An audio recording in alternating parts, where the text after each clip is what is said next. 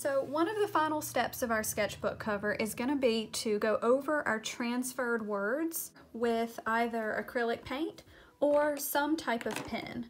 But now everybody may have different supplies at home, so I wanted to show you how to test the material that you think you may want to work with to see if it's going to um, work well for this assignment. We are going to be putting a protective top coat on top of it with our Mod Podge. So we're going to paint just a clear layer of Mod Podge and that's going to sort of help protect your sketchbook cover from getting scraped or scratched or have something else mark off on it and end up damaging that front cover. But we need to make sure that we choose a material that will not smear when we add this layer of Mod Podge. So before you start, I'm going to show you how to run a quick test. So I've just taken a sticky note and I painted the little section of the blue acrylic paint.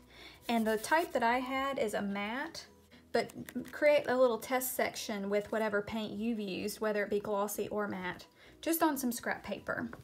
And now I've got a collection of pens that I'm going to try out to show you. The first one I have is one of the Pilot Rolling Ball Precise V5 pens. I love writing with these and these are great for small details. And I want to see if that mark will smear with Mod Podge. And I'm going to leave all of these in order, that way I can keep track with which mark is which. Um, next I'm going to try a Sharpie in an ultra fine point.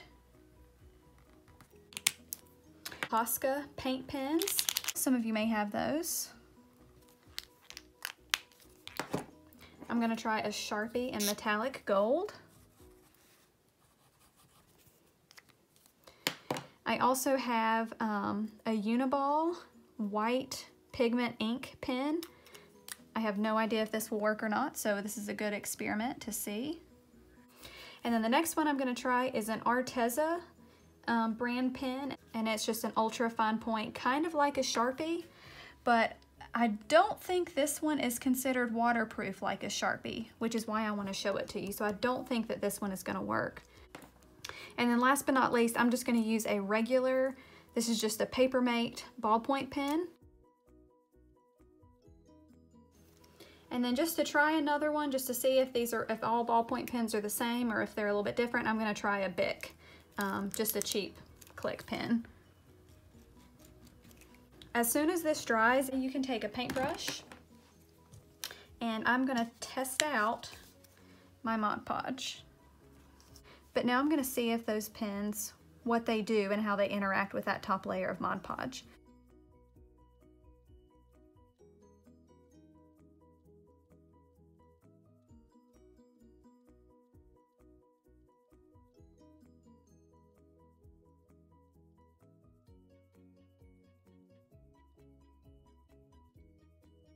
That is a great way to test before you start painting um, or drawing the fonts on your sketchbook is to just do a really quick test and see if it's going to smear or blend.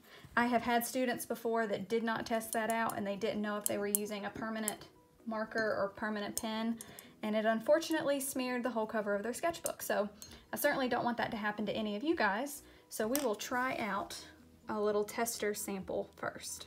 If you were going to choose to work with a Sharpie or a pen like that, just like normal, you were going to outline and fill things in.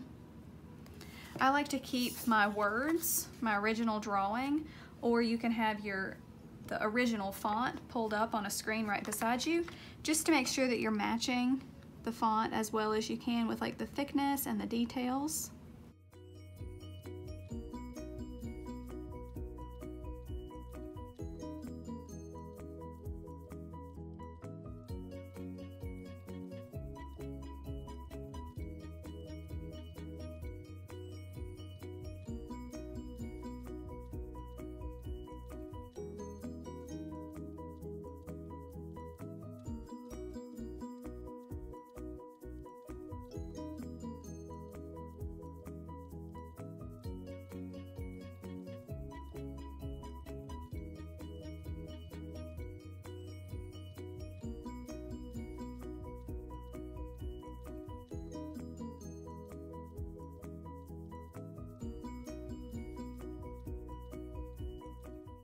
Now the next thing that you can do is if you want to work with your acrylic paints, if you have a small brush, you can use that to paint it in. I think I'll do this font up here in white to make it stand out really well. And since I'm left-handed, um, I'm gonna smear if I work in this direction, so I'm gonna work from the right side back to the left.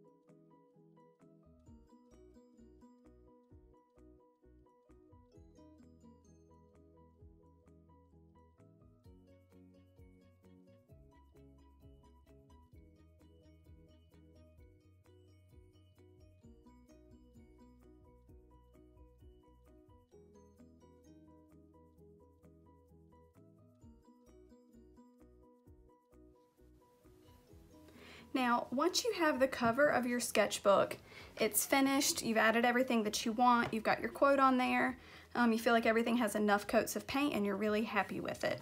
You are ready to complete your protective clear top coat. So we're gonna go back to our Mod Podge.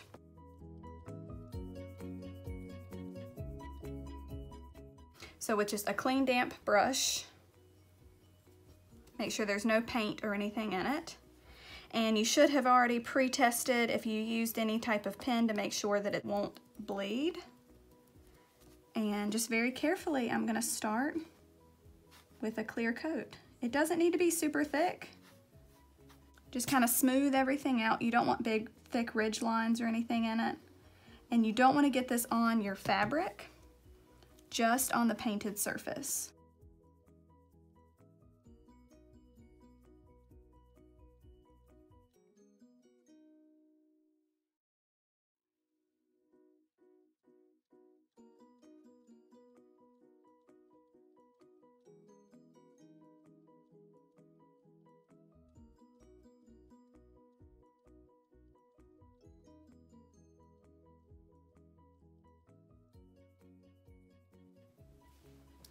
As soon as you're finished, you can check it for any missed spots to see if one part is not as glossy and shiny as the rest.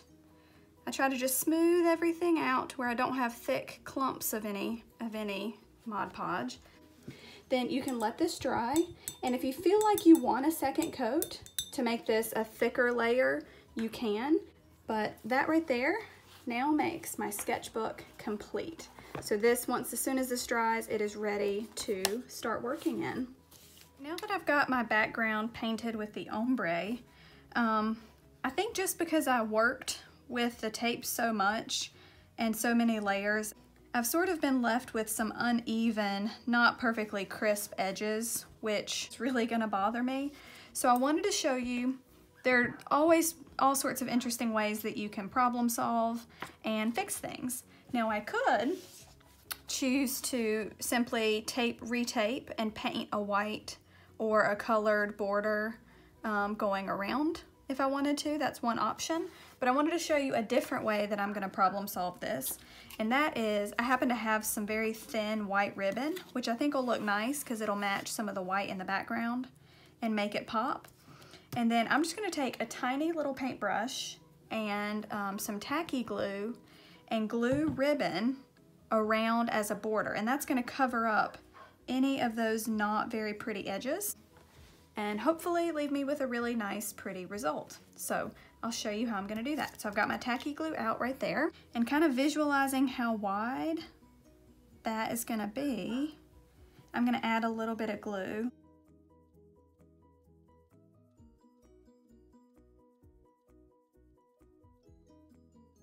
Now before that dries, I'm not gonna start right at the end because I need to figure out exactly how I'm gonna end it so I have a pretty edge. I'm gonna leave a little bit left over. I'm gonna lay that in the glue and give it a good little press. And this extra bit, I'm gonna figure out how I wanna cut that down later. I'm gonna go around and then try to make a really pretty little end. So now I can come up along the other side.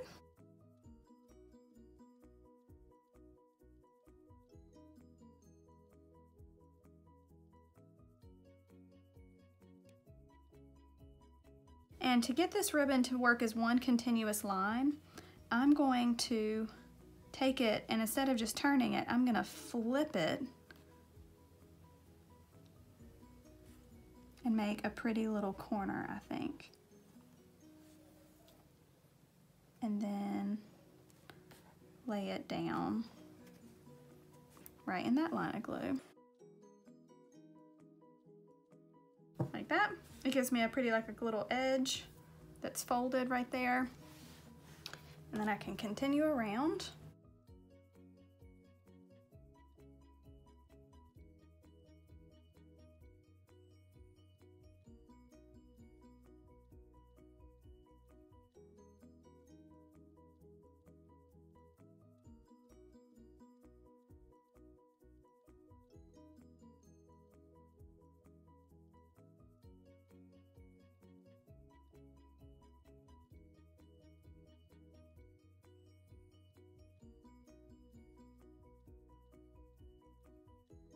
Now that I get down here to the end, I've got those two loose pieces that I need to figure out how to make them fit together nicely so that way they look like um, the other corners.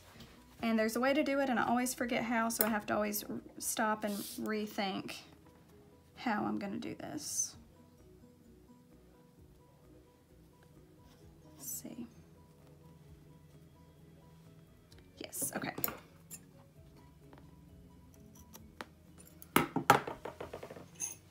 Gonna grab a pair of tweezers to help me do this. Um, so this one, I'm gonna cut at an angle, at a 45 degree angle right across there.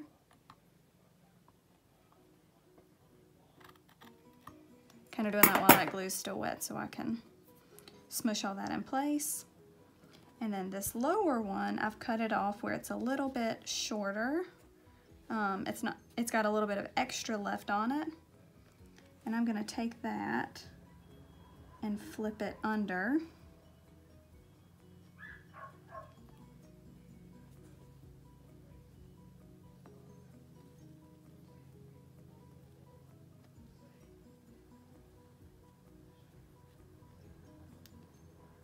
Okay, yeah, that's what I need to do. I'm gonna lift that one up temporarily.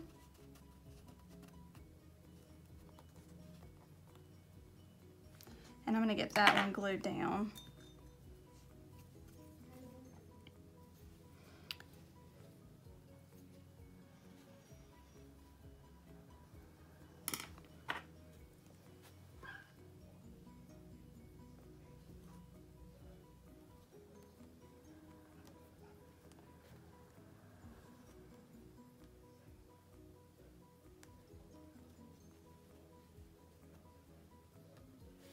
Okay, so I've got this one glued down where it flips under, and then I'm gonna tuck that one into, I think I've got just a little bit extra.